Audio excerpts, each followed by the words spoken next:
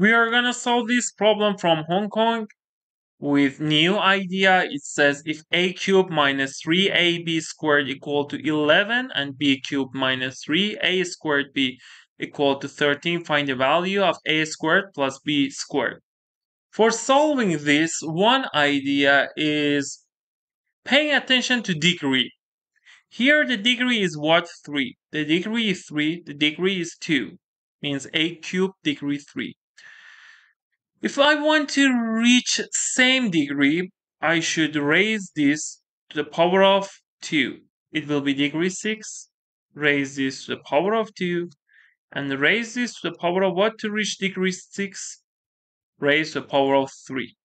So for raising or squaring both sides, we use this identity. It is what?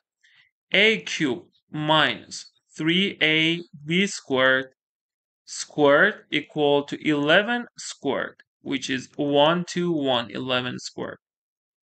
So a cubed minus this, if we use this identity, first one squared, this one. a cubed squared plus 2 times first one, second one, 2 times first one, a cubed second one, negative 3, ab squared plus what? Plus second term squared, negative 3ab squared squared. And if we simplify this, it will be what? a cubed this. We can use this rule, power rule. a 3 squared is a6. Here, negative 3 times 2 is what? Negative 6. a cubed times a. You can use this rule. It will be 2 times this, negative 6 a cubed times a, a to the 4, we add up the powers, b squared, and this part negative will be cancelled because you raise to the power of 2, plus 9a squared b to the 4 equal to 1, 1 to 1. So I erase these things and only write the last equation if we do the same thing here, it will be b cubed minus 3a squared, b squared equal to 13 squared, which is 169. And then I can say first one squared, b6, 2 times this times this, which will be negative 6a squared b to the 4, plus this squared, which will be 9a4 b squared equal to 169. Now I want to raise this to the power of 3 to reach something degree 6. So it will be what? a squared plus b squared to the power of 3.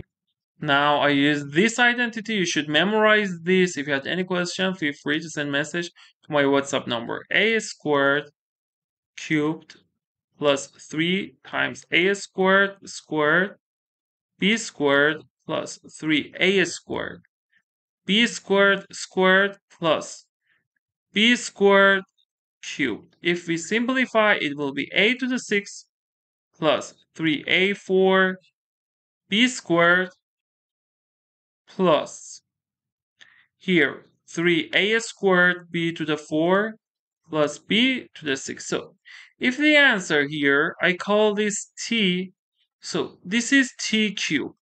Now, here look a6, b6, I have these things 9a squared b4.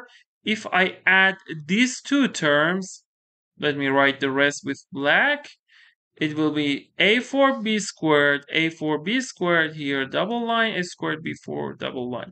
It will be what? a6 I have, then negative 6a4b squared, one line. Plus 9 this, it will be plus 3a4 b squared. Now consider double lines it will be 9 minus 6, 3. a squared b to the 4. And then plus b to the 6. And it will be what? 1, 2, 1 plus 1, 6, 9. 1 plus 9, 10.